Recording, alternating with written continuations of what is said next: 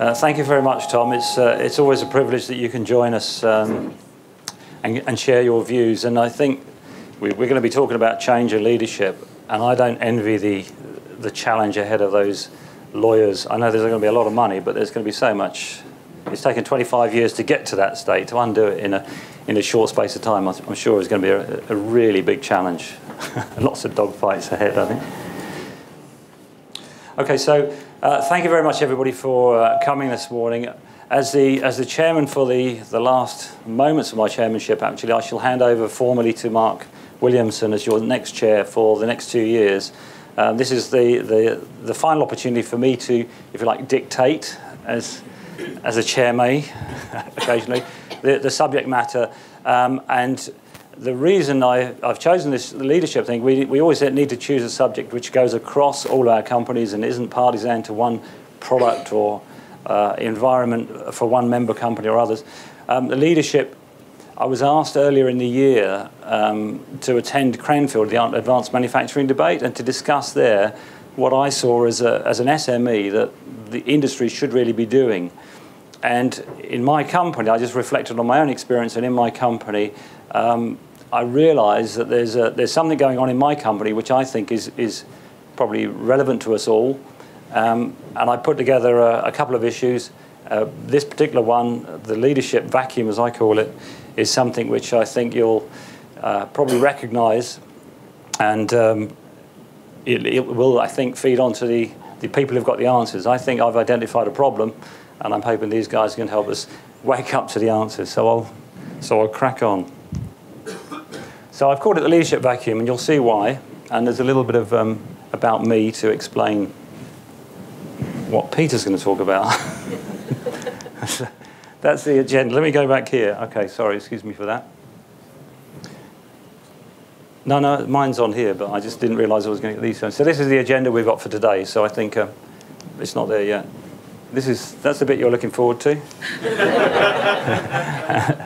Eliza, you've got a little program I think we've published, so I think you've probably got aware, awareness of who's. Um, it's not really a CV, but it is relevant.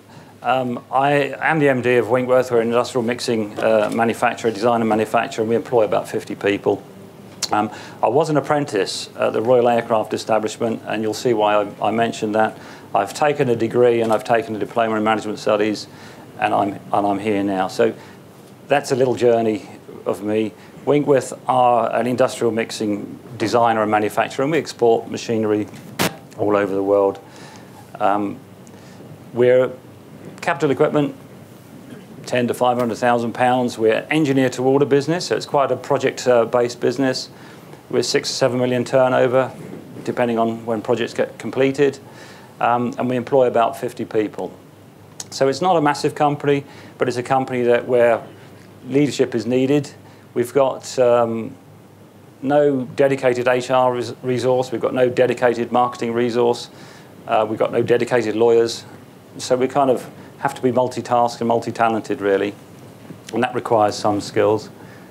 But this is the issue that um, I think has caused what I see in my business, the leadership vacuum.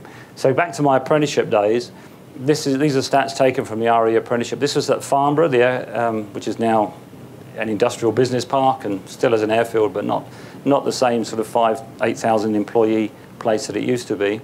They started apprenticeships a long, long time ago, uh, 1918, 51. They carried on taking on apprentices 100 or so a year and were donating essentially those apprentices into industry. They didn't need those apprentices at the end of at the end of the apprentices. They would stay on if they if they chose to. The the the, the civil service, if you like, would keep you there. But most people had really good skills, and they would leave the they would leave the RAE, and they would go and start and join engineering companies or found engineering companies. And there was a lot of a lot of talent over the years. There's a great alumni of people that have achieved lots of things in, uh, you know, from the RAE. But there was a it was a really good training ground, very very solid apprenticeships, and in fact, as a 1954, my dad joined and did his apprenticeship, the same thing. And he didn't say, son, go and get an apprenticeship like I did, but it just happened that way. But you can see there, there's lots of people have been trained by, by the government, if you like, in depth, and then donated to the community. They stopped in 1992, those apprenticeships. And the civil service typically was a little bit behind in industry as, as in general. So probably most of industry stopped apprenticeships a couple of years before that. Uh, and that was really when engineering was becoming unattractive. Lots of people were getting different educations, arts, science, service industries, finance, and so on were being promoted. And engineering was becoming less, um, less normal, if you like, for people to go into. And what that, what that means is that um, there are very, very few, what I would call thoroughly trained engineers under the age of 45 you know, around us nowadays. Modern apprenticeships are one or two years and so on, and there's an, there's an injection in modern apprenticeships, which is, which is admirable and, and good. But actually, if I look at my workforce, and I'll show you a graphic of my workforce, there's, um, this is the work, worker age profile for my business. And it's, it's pretty evident here, I think I'm just here, we've got a, a huge range of talent and people up around this 50, through to 60. I've got a 70 year old, a 71 year old working for me. He's fit, he's happy, he does four days a week because that suits him, it suits me. So I'm, you know, I'm not ageist. I've got 66 year old, I've got two 66 year olds that have, uh, have, given, have surrendered, if you like, their resignation to leave next year. So they've given me about nine months' notice, and I've got succession planning going on for those guys. But you can see here in 10 years' time, I've got to have 20, 20 people replaced in my business if they retire at the ages that they could take a pension. Um, this, I don't think, is uncommon in our industry because there's a lot of owner managed businesses, machinery associations. So, um, this isn't uncommon. Young people are pretty scarce. I don't know why that's going on.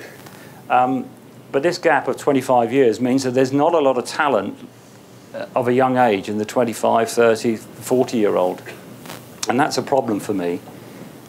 And I think it's a problem for all of us because in, in talking to other members here on the board, this isn't uncommon. Um, this apprentice injection is great, and there's lots of noise about that now. I do struggle with the quality of apprenticeships these days, and I'm not being ageist here. But I know that when I did my apprenticeship, it had been proven. There had been 70 years or 80 years or so of preparation and practice and dedication to getting those apprenticeships really, really solid to make sure that we had good comprehensive skills that were applicable. And, and it gave you problem solving challenges and so on. They weren't just bespoke for the thing that you're going to do now. Um, modern apprenticeships typically are driven by the host company and they'll say, okay, well, we need you to do this, you need to do that. So you're probably not getting the same depth and breadth that we did. Um, and you can see the historic, the, the natural age of retirement, 65. Well, that's a drifting date line nowadays. Um, maybe it will happen that way for our, our, employees, maybe it won't. I think some other organisations that have got pension schemes, they can probably see the patterns of people that they've employed and see and predict with, with greater ease than I can, if you like, what my, what my guys are going to want to do. So I think we need new entrants into the industry now who are competent and, and can fill that vacuum. If I'm looking for talent to take over in 10 years' time or in five years' time, asking a, a, a fresh apprentice grade, you know, 20 year old, 25 year old, it's going to be really challenging. And they're going to look around well, who's the leadership? Where's my mentoring coming from? Where, where are the people that have been through these, these journeys before that I can lean on to take on this business? So there's a, there's a really big gap, and I think it's a common thing for um, lots of us. I use this snakes and ladders analogy just to introduce the next, but in industry, and engineering has been a victim of this, mining would be a classic one, the industry changes. Titles shift, nothing to do with the quality of the person, just the industry. The industry has changed. We've, we, we are not doing that anymore. We're going to do this. We're going to import or, or whatever this, this snakes and ladders thing can happen to you. And you could be a rising star, you could be a really good guy or girl, and yet find yourself redundant because the industry's changed. And I call these uh, promotion moments, ladder moments. You're doing well, somebody recognizes you, off you go. You jump up a few runs and you carry on. You get snake moments that nothing to do with you, probably, and you end up redundant. And this was because I put this presentation together initially um, springtime. These were announced. These were these were information on on job losses anticipated, expected, or announced earlier on this year in the, in the, you can see here, retail sector, nursing, doctors, finance. There's lots of people having snake moments have got nothing to do with them, probably.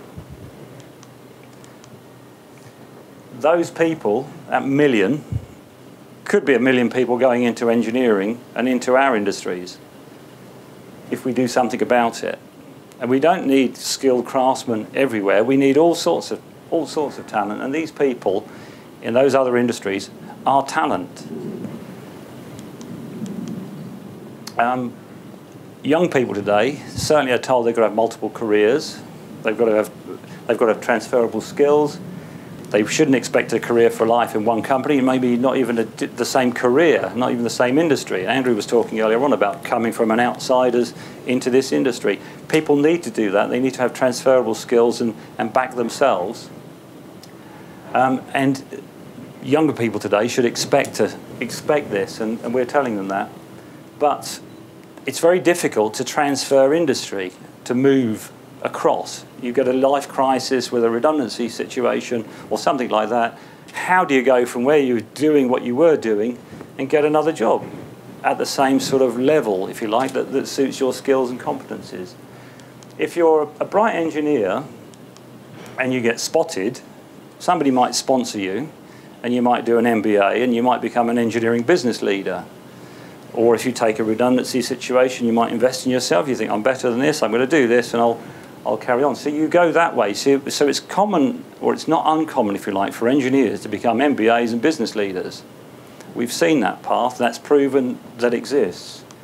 How do you take a non engineer and do something with them in the manufacturing arena, if you like, to become a leader for us?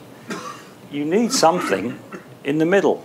You need some way, some mechanism of helping those people who are outside our industry migrate into our industry. So you need some educational, some day release, some host companies, some collaboration, if you like, to, um, to, to build a, a bridge to get that million people to see manufacturing and industry as an opportunity for them. And if you've tried, um, so, so for us, I would say, you know, if you haven't heard this before, recognise this as a problem. You may, I've seen nodding heads, so I don't think that it, it is, this is really news to many of you. There's lots of, you will recognise it's a problem. Retraining, retrading, reskilling, and then retaining. So this, these are the human things that you need to do with those people. You can do it in a number of different ways on the job training, mentoring, master's courses, foundation courses, whatever if we create them, if we create the environment for, if we tell colleges, universities, and so on, this is what we want, can we work with you? We are a trade association. We should play a part in this. And there are some universities around the, around the country, if you like, that are offering these things. And Cranfield actually do do a master's in manufacturing, but they do it for people who are already in manufacturing. They're taking a bit of talent and say, okay, well, now we're going to improve your, your ability to ma manage in your business by taking your engineering, existing engineering, and give you masters by making you challenge and, and think things. But that's not the same. What I'm looking for is people from outside our industry to be given the tools to migrate. But you can't do it by being an apprentice again. You can't be a person with domestic uh, challenges of mortgages, children, education, all those sorts of things. You can't go from a 50, 60,000 pounds or a 40,000 pounds a year salary and go down and be a, an apprentice, a 20,000 pound a year apprentice, and still keep things going. You need uh, a support mechanism, if you like, that's going to get you from that industry to this industry, and you have to want to make that journey. So you need some basic pay, you need some other government grants, some bursaries or something. You need something that's going to help you, you know, want to make the transition from your old industry to the to the new industry that's going to give you the opportunity that you want for, your, for the next career you're going to have. This bridge doesn't really exist as far as I can see, and it's a challenge to industry, education, ourselves, to identify mechanisms that we can introduce and then go out and attract those people, show them how it could be done, support them in their journeys, to bring them in and to get them across. So we need to migration is an important word, and we need to embrace industrial migration. We need to make a mechanism for it to happen. We need to sell it as, a, as an opportunity to non-engineers, non-manufacturing businesses, and to say this is a career opportunity for you now that your avenue that you started on or whatever is not as attractive as it was. And um, we need to get those people over there wearing those hats into people over here that could be wearing these hats if we're going to fill that, that vacuum. And if we don't fill that vacuum, we're going to end up with a big problem. We're not going to be able to sell our businesses. We're not going to be able to retire. There isn't going to be the leadership. The attraction, the value in your business now is, is going to diminish because when you're trying to sell or you're trying to hand it over to somebody else, you say, well, it's a mess. Nobody knows what they're doing. Where's the wisdom? Where's the experience? It's like a startup, but without the entrepreneurial drive to be a startup. And that will lead into your leadership um, issues, I guess. I say under 20s need not apply. They're being addressed, I hope, with the apprenticeship, the STEM issue, initiatives, and so on. So that's what it is. But I think that we've got to grab something in the middle and fill the middle. Otherwise, we're going to have a real problem. And these under 20s and the like that we're encouraging into the industry are going to say, well, I was told to do this, and now I'm looking around, the business has just closed down. He's just sold the assets and retired. So there is a real problem here, and I, and I would hope that I can prick you to think and start talking about it, and then we get a campaign going and we do something about it. And in whether it's two years or five years or whatever, we can look back and say, well, we've, we've played our part. We've, we've done something to address this issue.